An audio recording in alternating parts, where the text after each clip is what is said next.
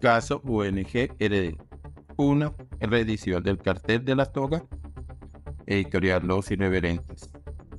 A pesar del evidente interés de la fiscal Camargo de echarle tierrita a la investigación de la UNGRD, procurando desviar el curso de la misma para que los determinadores del monumental saqueo queden impunes.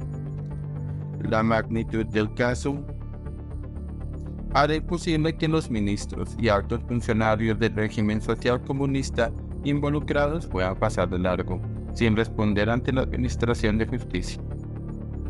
Lo que hasta ahora se conoce que es suficientemente asqueroso es la punta de un gigantesco iceberg.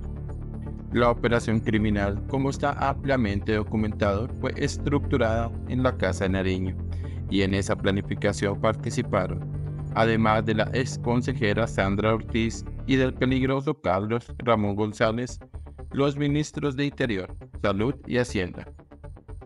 Quizás hay más integrantes del gabinete metidos en ese salcocho de corrupción. Algunos medios de comunicación han intentado blanquear a los zampones Olmeo López y Sneider Pinilla, mostrándolos como unos arrepentidos dispuestos a todo en aras de reparar el daño que le causaron a la sociedad colombiana. Hay que repetirlo hasta la saciedad. Si López y Pinilla cantan como un par de canarios, es porque fueron agarrados con las manos en la masa. Están en el marco del modelo de justicia transaccional que impera en Colombia, buscando la menor sanción posible. Pero sus delaciones no han sido del todo transparentes. Es motivo de sospecha que su representante judicial sea un truán aún más peligroso que ellos, como es el caso del peón del cartel de la toga Luis Gustavo Moreno. Valga refrescar la memoria respecto del proceder de Moreno cuando fue capturado y extraditado a los Estados Unidos. Su colaboración con la justicia no fue completa ni mucho menos transparente. Guardó mucha información. ¿Por qué lo hizo?